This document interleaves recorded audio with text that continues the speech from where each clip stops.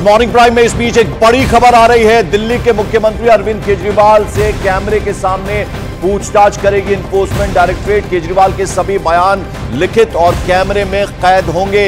ED की special team ने अरविंद केजरीवाल से पूछताछ के लिए बाकायदा एक प्लान तैयार कर लिया है। एनफोर्समेंट डायरेक्टरेट की टीम में दो असिस्टेंट डायरेक्टर भी शामिल हैं।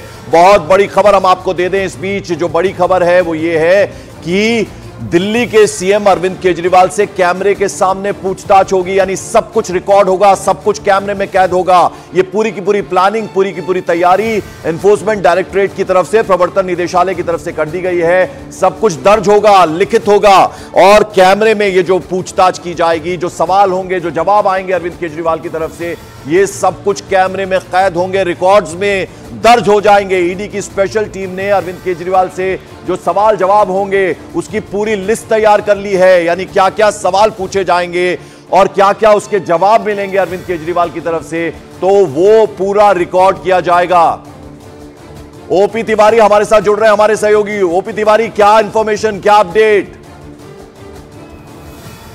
बिल्कुल पंकज, मैं आपको बता दूँ, अरविंद केजरीवाल को कल देर रात गिरफ़्तार कर लिया गया था और गिरफ्तारी के समय में जो रीजन बताया गया था, वो बताया गया था कि वो जाँच में सहयोग नहीं कर रहे हैं और समनों पर पेश नहीं हो रहे हैं। मैं आपको ये भी बता दूँ, पंकज, कि अरविंद केजरीवाल को गिरफ़्तार गिरफ़्तार करने की रूपरेखा कल दोपहर को हाईकोर्ट से ऑर्डर आने के बाद, जो हाईकोर्ट का उस मामले में डिसीज़न आया था, उसके बाद रूपरेखा तैयार कर ली गई थी और तय किया गया था कि देर शाम अरविंद केजरीवाल को जो है गिरफ़्तार कर लिया जाएगा चूँकि वो संबंध पर पेश नहीं हो रहे हैं। सबसे महत्वपूर्ण बात यह है कि इसके बाद ईडी प्रशासन ने ये योजना बनाई है कि अरविंद केजरीवाल से जितनी भी पूछताछ होगी, वो जब भी होगी, जिस समय भी होगी, वो पूरी की पूरी पूछताछ कैमरे पर रिकॉर्ड की जाएगी, जिससे बाद में कोई भी राजनीतिक पार्टी या अरविंद केजरीवाल या कोई अन्य शख्स, यदि कोई आरोप कोर्ट के सामने लगाता है तो वो वीडियो रिकॉर्डिंग जो है, वो कोर्ट को दिखा दी जाएगी। देखिए, इसी समय पूछताछ हुई और पूरी पूरी बातचीत और पूरी की पूरे जो उनके बयान है, वो उस वीडियो रिकॉर्डिंग में मौजूद होंगे। सबसे महत्वपूर्ण बात यह है कि यदि अरविंद केजरीवाल इस पूछताछ के दौरान अगर सहयोग नहीं करते हैं तो चूँकि वो भी कैमरे पर रिकॉर्ड होगा, पंकज, जैसे मैं आपके सामने बोल रहा हूँ तो कैमरे पर रिकॉर्ड हो रहा है तो उसी तरह से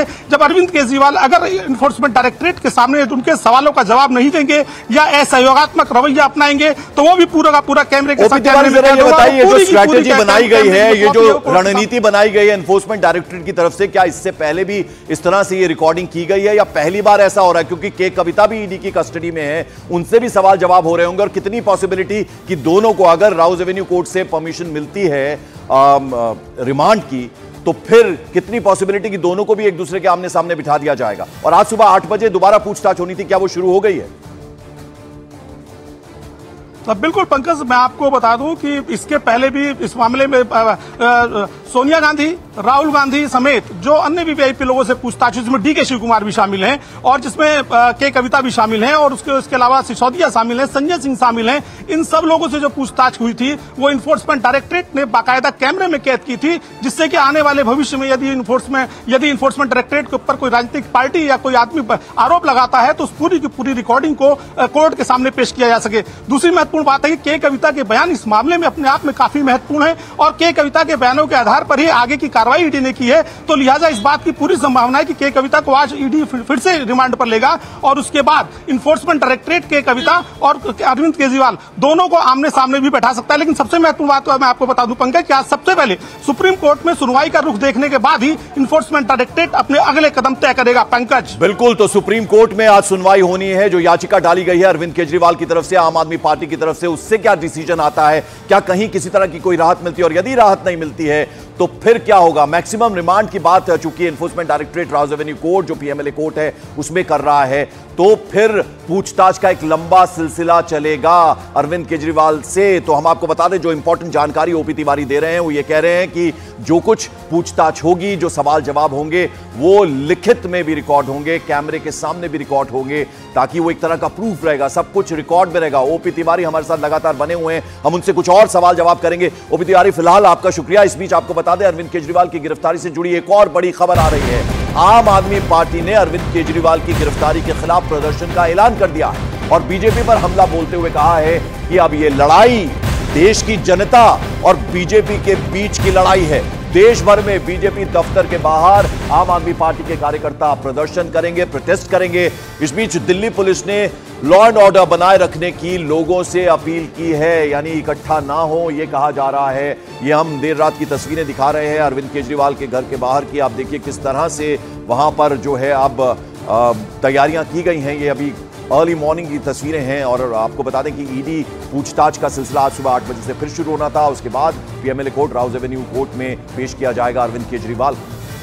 पूरे देश में श्री अरविंद केजरीवाल जी की गिरफ्तारी के विरोध में भारतीय जनता पार्टी के खिलाफ आम आदमी पार्टी और देश की जनता विरोध प्रदर्शन करेगी, दिल्ली में भी करेंगे और पूरे देश में करेंगे।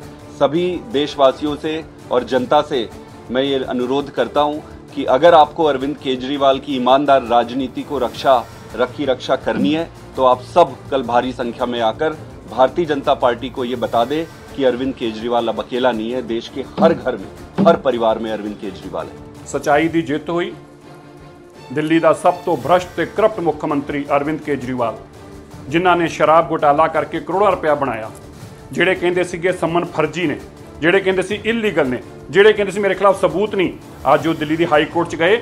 ਹਾਈ ਕੋਰਟ ਨੇ ਕਿਹਾ, ਇਹ ਸੰਮਨ ਫਰਜ਼ੀ ਨਹੀਂ, ਇਹ ਸੰਮਨ ਲੀਗਲ ਨੇ।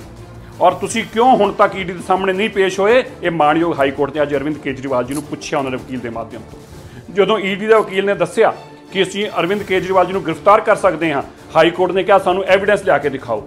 ਜਦੋਂ ਉਹਨਾਂ ਨੂੰ ਸਾਰਾ ਐਵੀਡੈਂਸ ਦਿਖਾਇਆ ਗਿਆ ਹਾਈ ਕੋਰਟ ਨੇ ਇਨਕਾਰ ਕਰਤਾ ਡਬਲ ਬੈਂਚ ਨੇ। ਅਰਵਿੰਦ ਕੇਜਰੀਵਾਲ ਜੀ ਦੀ ਗ੍ਰਿਫਤਾਰੀ ਤੇ ਰੋਕ ਲਾਉਣ ਤੋਂ। ਮਤਲਬ ਮੋਹਰ ਲਾ ਦਿੱਤੀ ਕਿ ਤੁਹਾਡੇ ਕੋਲ ਐਵੀਡੈਂਸ ਹੈਗਾ ਤੇ ਜਾਓ ਤੇ ਗ੍ਰਿਫਤਾਰ ਕਰੋ। ਅਰਵਿੰਦ ਕੇਜਰੀਵਾਲ ਗ੍ਰਿਫਤਾਰ ਹੋਏ ਨੇ।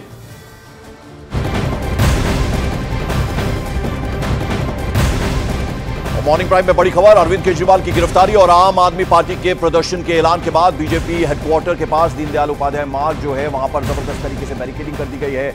आप दफ्तर से लेकर बीजेपी ऑफ़िस से सीपी जाने वाले रास्ते को रोका गया है। इसके साथ ही राउज एवेन्यू कोर्ट के रास्ते में भी बैरिकेडिंग कर दी गई है। अरविंद केजरीवाल के घर घर के बाहर भी सुरक्षा कड़ी कर दी गई है। वहीं इन्फोर्समेंट डायरेक्टोरेट का जो दफ्तर है, उसके पास धारा एक सौ चौवालीस लागू कर दी गई अलग अलग तस्वीरों के ज़रिए हम आपको दिखाने की कोशिश कर रहे हैं कि किस तरह से सुरक्षा के ज़बरदस्त बंदोबस्त कर दिए गए हैं। और अरविंद केजरीवाल की गिरफ्तारी पर आप नेता आतिशी ने दावा किया है कि केजरीवाल जेल से ही सरकार चलाएँगे। साथ ही सेंट्रल गवर्नमेंट पर, केंद्र सरकार पर उत्पीड़न का आरोप लगाते हुए कहा कि दो साल की जाँच में ईडी को कुछ नहीं मिला है।